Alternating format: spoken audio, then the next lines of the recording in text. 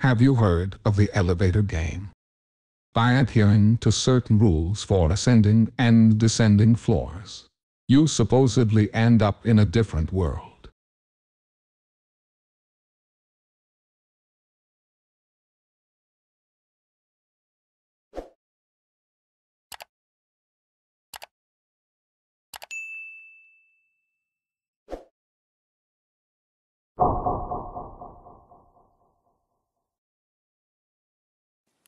Today's story comes from Thomas, from an afternoon during the summer break of 2011, when Thomas and his little sister Lily were playing the elevator game at their grandmother's apartment. They were living on the first floor of the building which had two elevators, but only one was usually in operation except during peak hours in the morning and evening. The rules of their elevator game were starting from the first floor, go up to the second floor, then up to the fourth floor before descending to the second floor, then up to the sixth floor before going back down to the second floor, then up to the tenth floor and finally down to the fifth floor. At this point, a woman in red would appear. She would ask you were going to the tenth floor or the first floor. If you say going to the tenth floor, then you would enter another world. But if you say going to the first floor, it would be giving up the game. Most importantly, you cannot play this game in a group. It must be done alone. The two of them decided to play one by one. Lily went first. Thomas stood on the first floor watching the first elevator floor to ensure Lily followed the game rules. Everything went well at first, but at the end, Thomas saw Lily choose the 10th floor. The elevator slowly started to ascend from the fifth floor. Next, a scream and crying sound came from the elevator shaft. Thomas wanted to run upstairs to save Lily, but just at this moment, other elevator, which had been out of service, suddenly opened. Mr. Who from their community came out from inside leading Lily, who was hanging her head. Thomas was also scolded, being told that they shouldn't play with the elevator like this as it's quite dangerous. After Mr. Ho left, Thomas asked Lily, Lily, how did you change elevators? Lily replied, Indeed, a woman did get on the elevator at the fifth floor. I followed along and told her, Ma'am, I'm going to the tenth floor. The woman was wearing a red dress, and her hair was done up. Her hand was exceptionally cold when she held mine. The lights in the elevator flickered as she spoke. As soon as the door opened, Mr. Ho stopped me. It seemed as if the woman and Mr. Ho couldn't see each other. Mr. Ho then took me to another elevator. Before leaving, he pointed at the flickering lights and said, Look, you've broken the elevator with your game. Come down with me quickly. And so, I came down with Mr. Ho in the elevator. That night, Thomas woke up from a nightmare. He heard noises in the hallway, like something being dragged along. He brought a small stool and peered through the peephole in the door.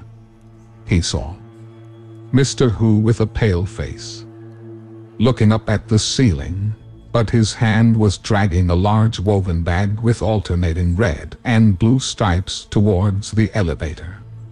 Thomas quietly opened the door and followed. When he saw the display panel of the elevator, he noticed the sequence was 1, two, four, two, six, two, ten, five. It paused on the fifth floor for a while before going up to the tenth. Then the other elevator, which had been out of service, made a sound.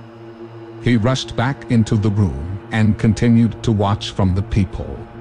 Meanwhile, Mr. Who had somehow found a mop. and was cleaning the floor in front of the door. At this moment, Lily suddenly shouted from behind him. Brother, what are you spying on? Outside. Mr. Who paused. Then slowly brought his face closer to the peephole. At that time, he fell off the chair in fright and woke up his grandmother. The next day, around noon, the sons and daughters of Mr. Who, as well as his friends, all came over and set off a lot of firecrackers. When Thomas' grandmother returned from shopping, she asked why they were setting off firecrackers. Grandmother said, Mr. Hugh was previously diagnosed with liver cancer. But today, after a recheck, he's all better. He is a healthy man. His children came over and they're setting off firecrackers to celebrate.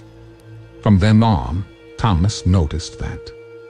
Mr. Who would follow him, always leading him to secluded places, such as a new convenience store in the basement, a new toy store in some building, etc.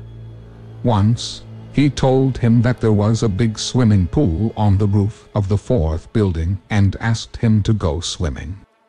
But when they got to the rooftop, Mr. Who's eyes looked sinister, and there was no swimming pool. Luckily, there were two men repairing air conditioners. They stood up and asked, Whose child is up here? It's dangerous on the roof. Mr. Who immediately put on a friendly smile. Naughty boy, let's go down together. Two years ago, Thomas consulted a local exorcist about this matter. At first, the exorcist said that these games weren't too serious but advised against playing them too much as they could have a psychological impact. However, after hearing the entire process, the exorcist frowned. That's not right. The Mr. Hall seems to be from the other world. That night, what he dragged in the woven bag it should have been a person from this world. He's been replaced. After the exorcist finished speaking, he felt a little scared. But he was no longer a child and had no contact with this Mr. Who. But not many days later, he suddenly realized that since the night Lily played the elevator game, she stopped being picky about her food. She, who used to hate meat, especially loved it after that incident. When adults asked her why she loved meat and stopped being picky, saying how great it was, she just replied, Hey, it tastes much better than the bitter stuff. But what exactly was the bitter stuff? She never explained, just mentioned it was like a type of toothpaste that could fill her stomach. As she was a kid at that time, Nobody took her words too seriously. Eventually, Lily deliberately distanced herself from Thomas because Thomas would always ask her strange questions that she couldn't answer. Like, do you remember this from our childhood? Lily couldn't recall. Now, Lily is working and earning her own salary.